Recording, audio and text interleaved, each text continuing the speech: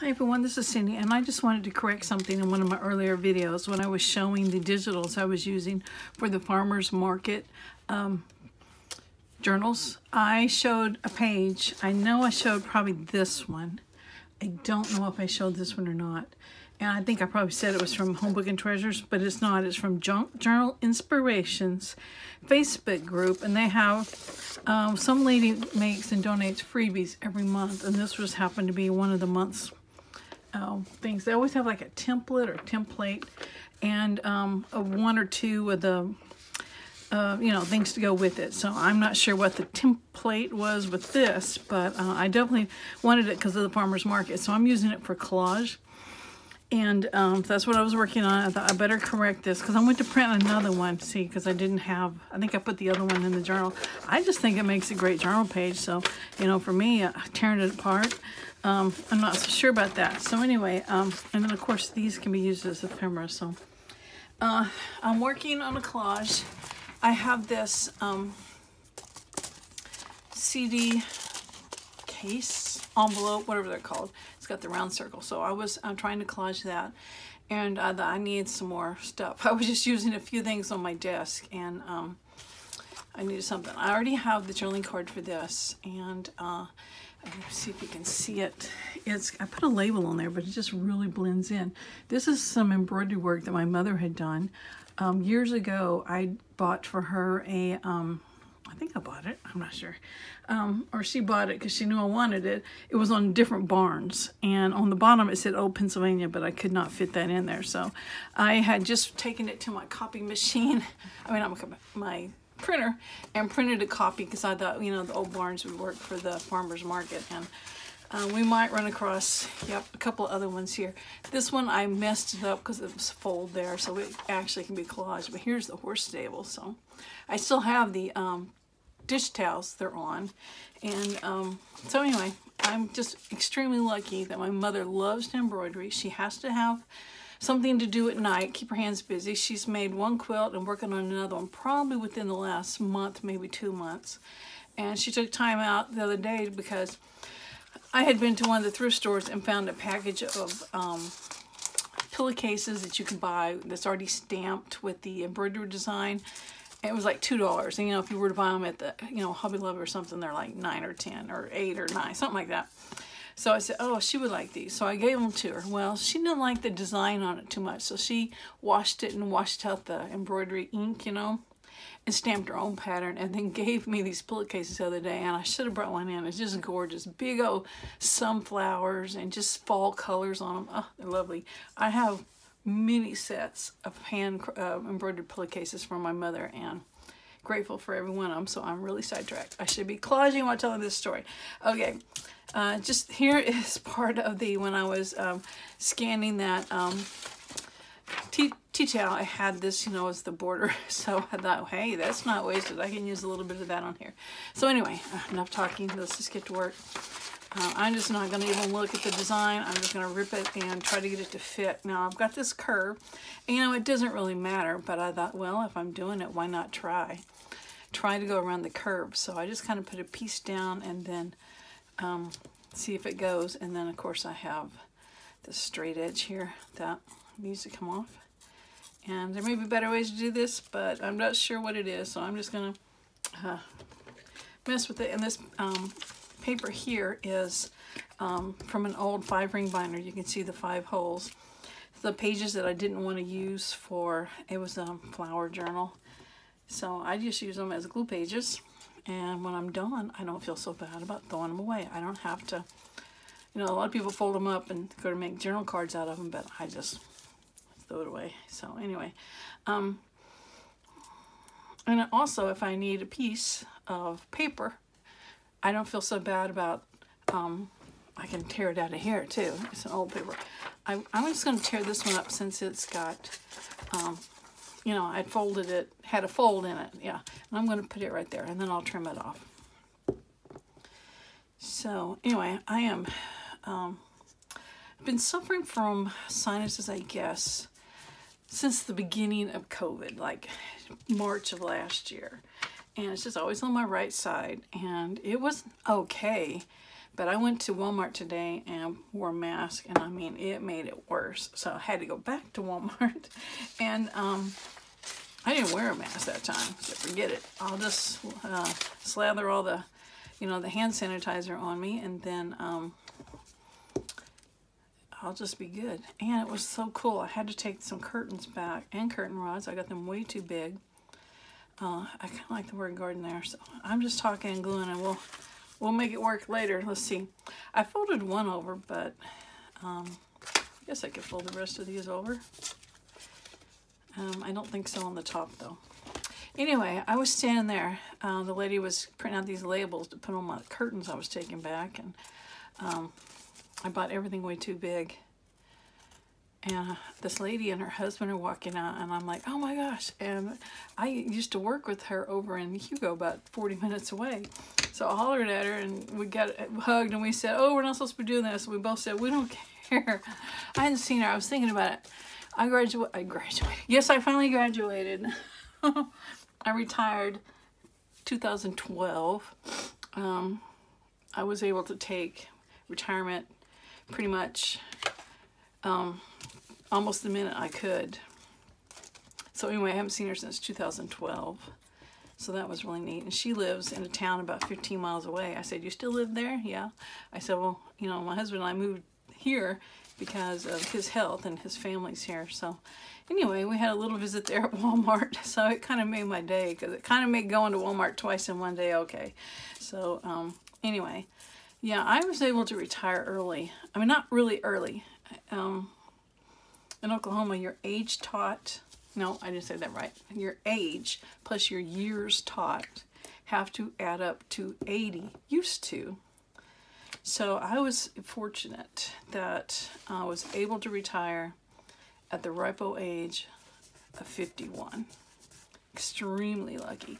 I started working pretty much right out of college. I never took any time off. So I was I was eligible. So my husband wanted me to, and I'm glad I did. Uh, we still had a child in school though, but it was still neat. I was able to do much more with her, her schooling and stuff. So um, now Oklahoma's thing is you have to be 95. Your age taught and your, you know, your age and your years taught have to add up to 95. And that'll give you an idea of how uh, how it's changed. But anyway, um, enough of that. That's no nothing to do with crafting. And I'm uh, I'm just kind of fiddling around here. Yesterday, well, the night before. So this is Friday. Uh, so Wednesday night. I mean, I go to bed late. I, I really do. I get busy watching TV or something. I've always been a night owl, so it was probably 1 o'clock in the morning. And I said something to my husband about, I think I asked him, I can't remember. I said, have you heard from your friend, his Navy buddy, that, he, they haven't seen each other in 50 years. And it was September of whatever 50 years ago is. And this uh, guy had contacted him and, and uh, wanted to, you know, get together just briefly. I mean, it wasn't like spend the whole weekend or anything. Yeah, because he knew Bill was uh, not in good health. So anyway, I said, have you heard from him? Because he said he was going to let us know when he was going to be in the area. His sister lives in Houston, so it's kind of kind of on the, he's, he lives in Illinois, so, you know, kind of on the way. So um, when I asked him Wednesday night at 1 in the morning, I covered up my flower. He said, oh, he said he's going to be here either Wednesday or Thursday. And I said, today's Wednesday, or actually, you know, it had passed already. He said, well, he's probably going to be here tomorrow then. So that morning I woke up and I started slinging stuff. You know, yeah, you got your bills here piled up and um, some few dishes in the sink and had to run the sweeper and uh, all that stuff. And anyway, uh, he arrived and his phone wasn't working here. And um, so he had to, uh, he thought he knew how to get here. No, we're not on GPS yet. Where this edition's new. It shows up as a field, you know. So he, some guy let him use his phone. I don't know where he stopped to ask directions or whatever. This guy let him use his phone. He was just shocked that someone would do that. And I tried to tell him where to go, and then I thought I'm going to go out to the highway and look for him. And his wife, I had talked to his wife several times because that was the phone because he couldn't get a hold of us. So she tried getting a hold of us, and she told me what kind of car he drove. And so I'm looking for it, and finally I thought I am not I am not cut out for surveillance work.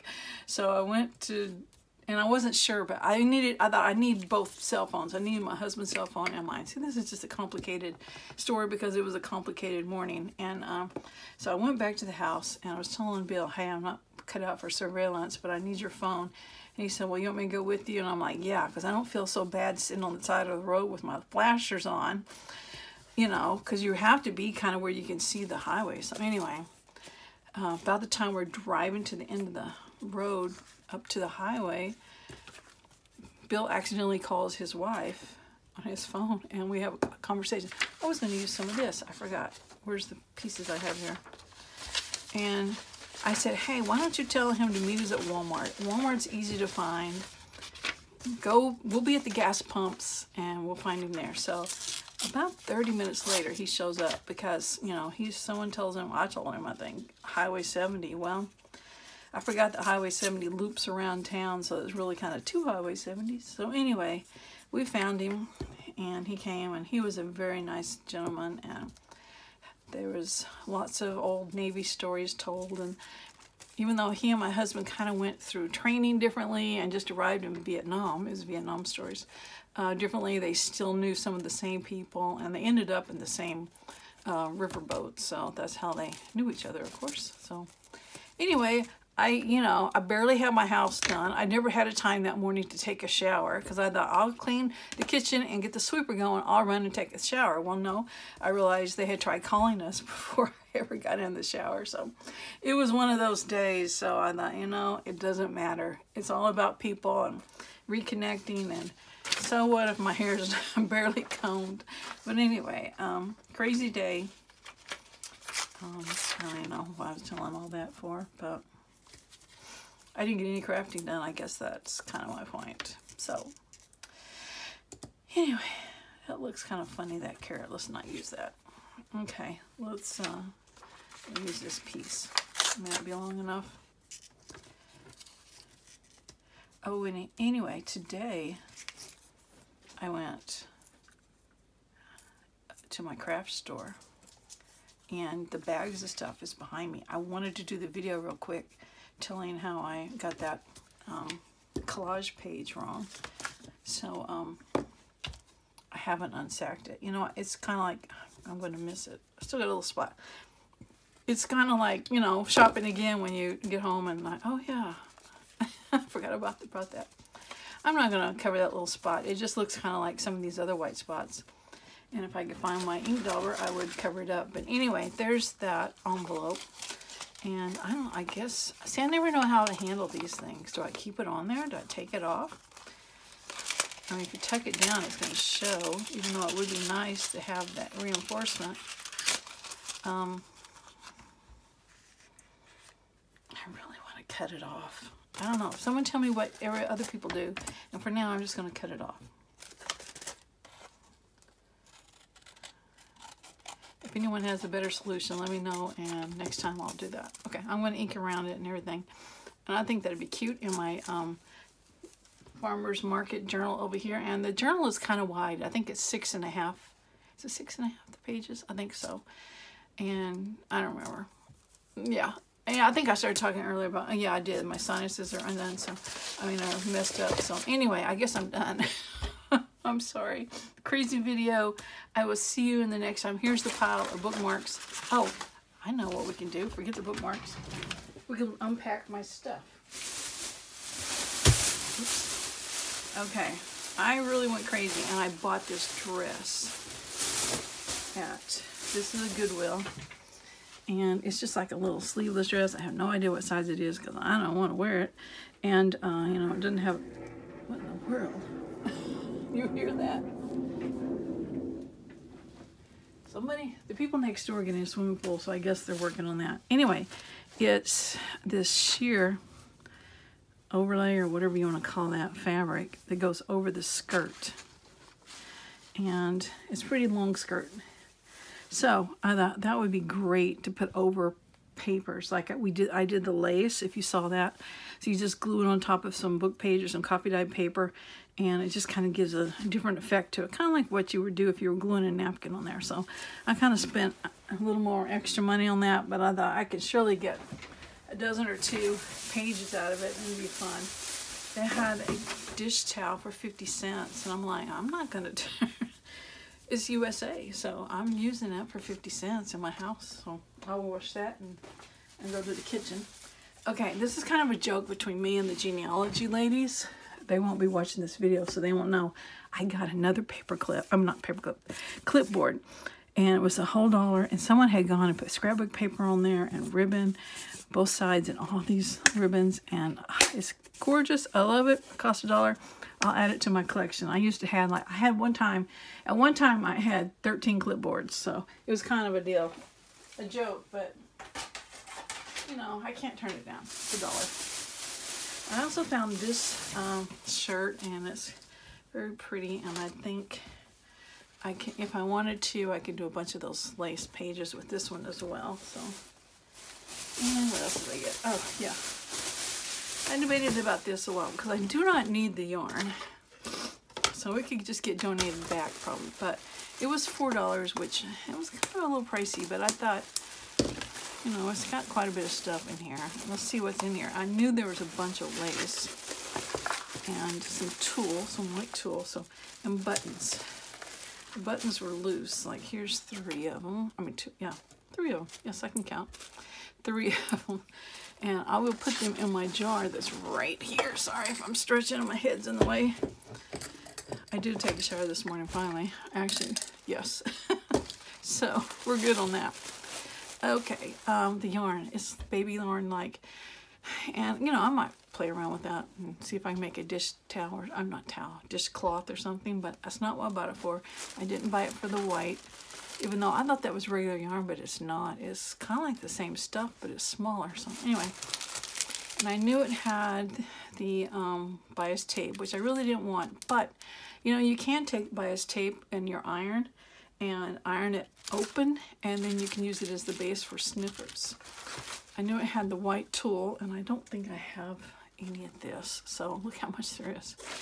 And then it had this big roll of lace and what I like about this is it's flat and it's white, and I use it for spines on um, booklets made out of book pages or fragile paper. So I've got a lot of that.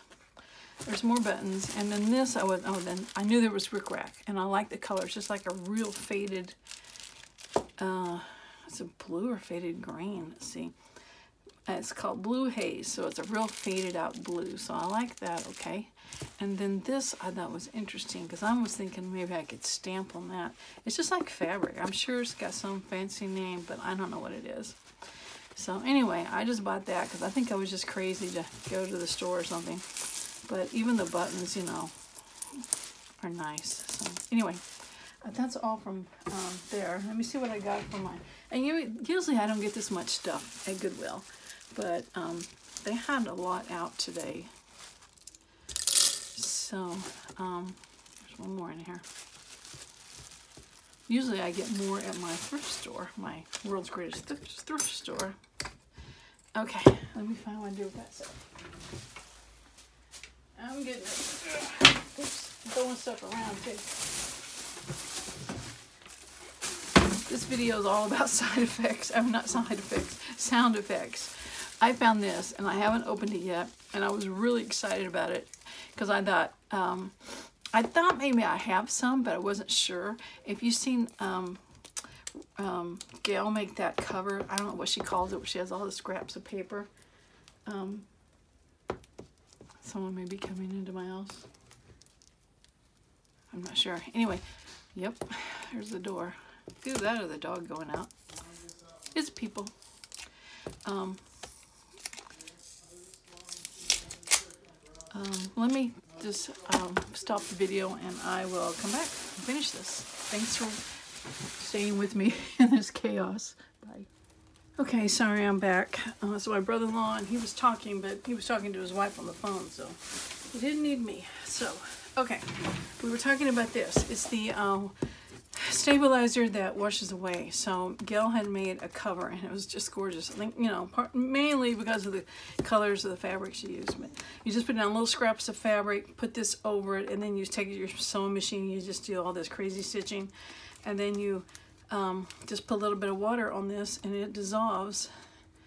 And then there's your stitching. You It helps you because if you were to sew without it, your presser foot would keep catching on that um, the fabric as it, you know, because it's just like loose. And I'm to be here all day with this tape. They didn't want it to come loose. Man, maybe I can pick this. So, I'm sure I'm off frame. Uh, frame. Can't seem to hang on to anything. Um, there we go. I made a good cut. Maybe we got it. So anyway,